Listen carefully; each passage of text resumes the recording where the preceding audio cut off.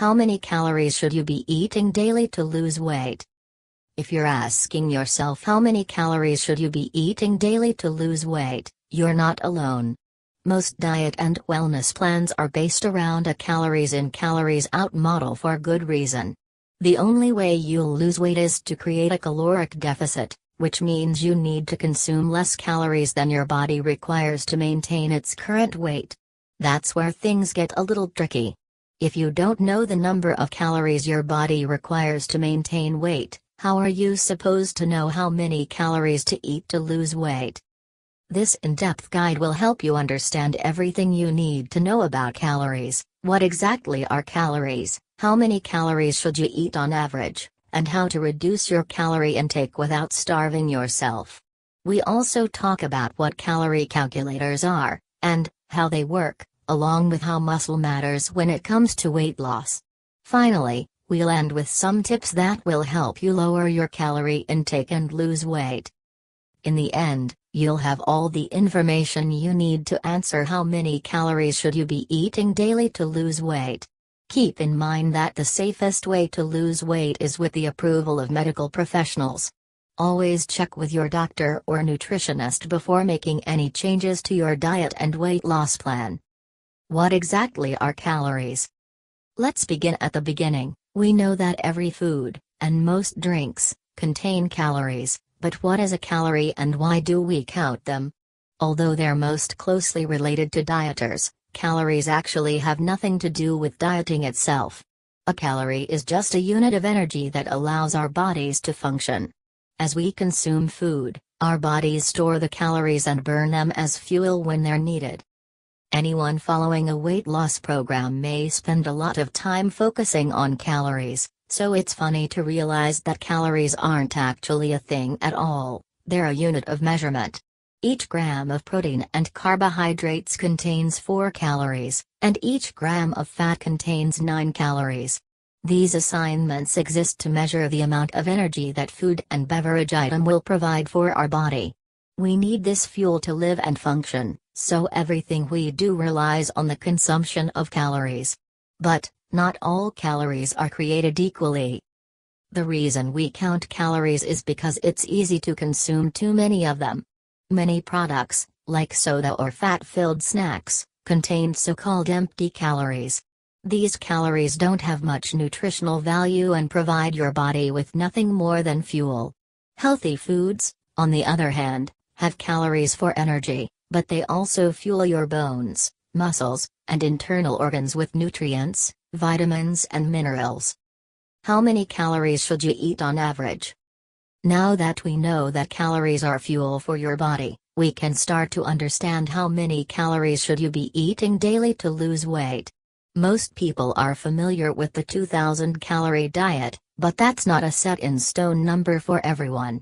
Nutritional labels use this number as an average of how many calories the normal person needs to maintain their weight.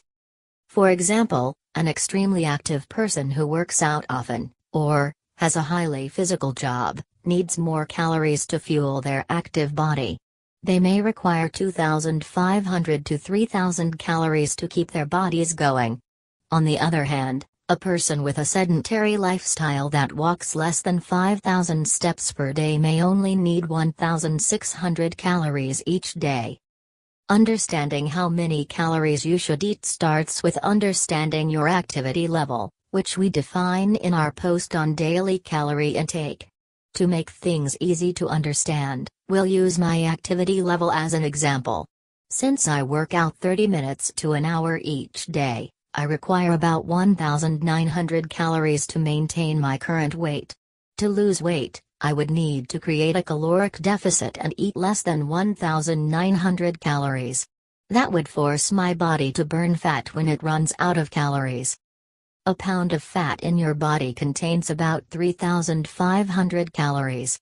So, to lose 1 pound per week, I'll need to reduce my caloric intake by 500 calories each day, making my daily goal 1,400 calories. If that seems too extreme, I can aim to lose 0.5 pounds per week and reduce my calories by 250 per day, or a daily goal of 1,650 calories. We'll go more in depth about calorie calculators and how they work in a minute, but I want to take a second to talk about reducing your calorie intake without starving yourself. After all, food is more than just fuel, it should make you feel happy, too.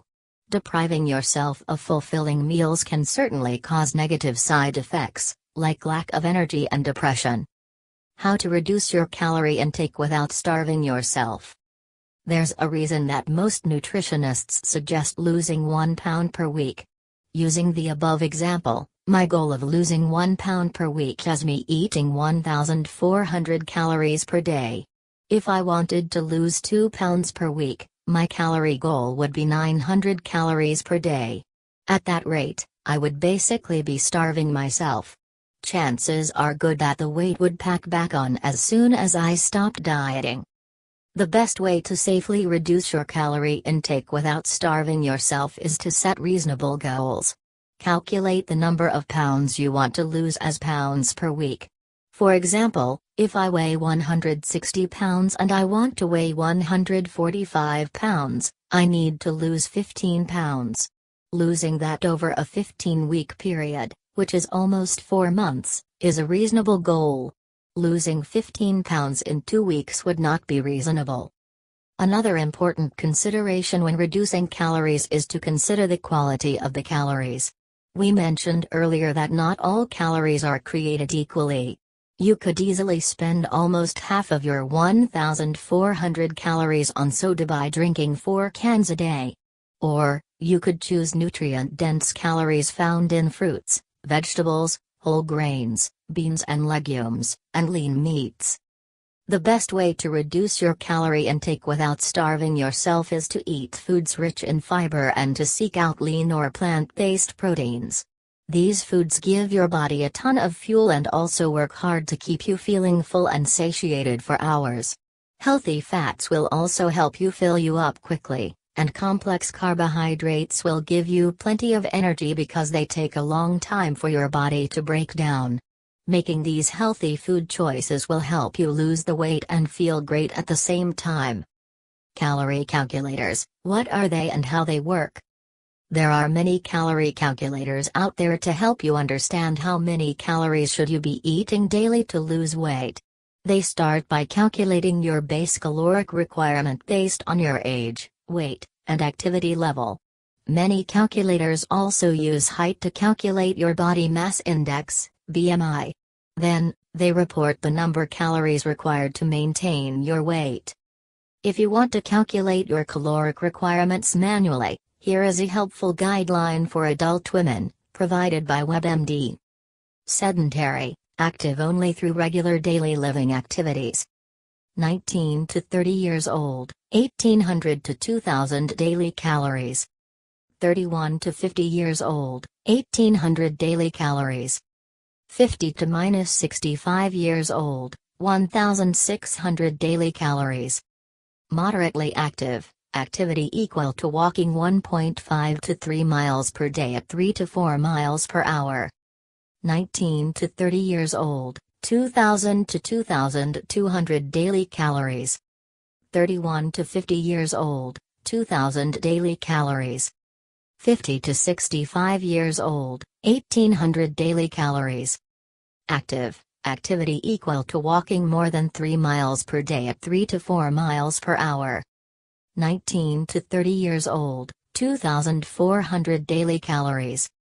31 to 50 years old, 2,200 daily calories.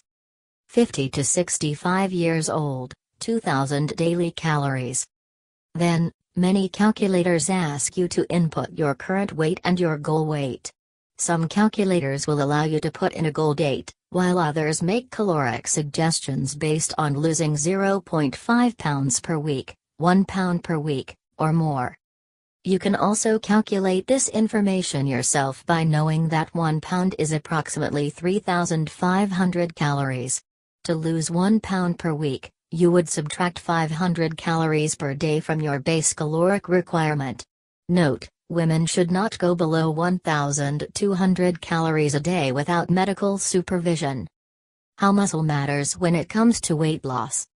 Many people become frustrated with weight loss progress when they don't see the number on the scale plummet as rapidly as they hoped. There are two common reasons for this. The first reason is simple and straightforward you might not be counting calories correctly. If you're forgetting to add cooking oils, buttery toppings, or mayonnaise spreads to your daily meals, chances are good you're eating more calories than you think. The more common reason for weight loss plateau is related to muscle mass. The scale doesn't know that muscle weighs more than fat, so you might be burning off fat while gaining new muscles. This is very common if you've started a new workout program. You may notice changes in your body in the way that your clothes fit because you're leaner, simply put, muscle takes up less space than fat. So, the scale might not have tipped too much but try not to let that discourage you. If you're becoming thinner and fitter, then you're well on your way to your goals. Building muscle will actually help you lose weight, too. Adding muscle not only helps lower your overall fat percentage, but it also increases your metabolism. Each pound of muscle burns 50 calories per day. So, the more muscles you have, the more calories you'll burn as you sit around. That doesn't mean you can turn into a couch potato, but all those muscles will help you become a calorie burning machine.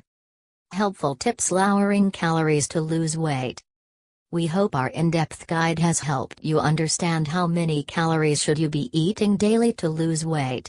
Before we leave you to your weight loss program, we wanted to give you a few final tips for lowering calories to lose weight. If you have any questions about what we went over in this guide, please don't hesitate to reach out to us in the comments below. We love answering your questions, but we also just love hearing from you about what has worked, and what hasn't, on your personal weight loss journey. Start a new workout plan. Working out will build muscle, burn fat, and give you tons of great energy. Start slow with a walk in the morning or after lunch to increase your daily steps to 10,000 each day. Eat foods high in protein and fiber. These foods will fill you up and keep you satiated for hours. They're as far as it gets from empty calories, so try filling up on the good stuff. Consider switching to a plant based diet. If you're looking for an easy way to cut out excess calories, ditch the meat and switch to a vegetarian or vegan diet. You don't have to eat meat to get protein, either. Cut out soda and sugary drinks and drink more water. Drinking more water is a great way to stay hydrated, feel full, and lose weight. So ditch the sugary, calorie filled drinks for some of these fruit infused water recipes. Snack healthily. There's nothing wrong with snacking if it fits into your daily calorie plan. But, you want to make sure you're not filling your body with empty calories. Seek out nutrient dense foods. There are certain foods that will help you lose your muffin top by providing your body with focused nutrition. Try to incorporate as many as you can. Join a weight loss program. If you need help managing your calorie intake, look to a weight loss program like Keto. Many people find a structured approach helpful to keeping up with their daily calorie goals. Also, remember to follow us on Facebook, Pinterest, Instagram and YouTube for all of the best dieting tips, routines, and you won't miss a single recipe, educational article, or workout plan.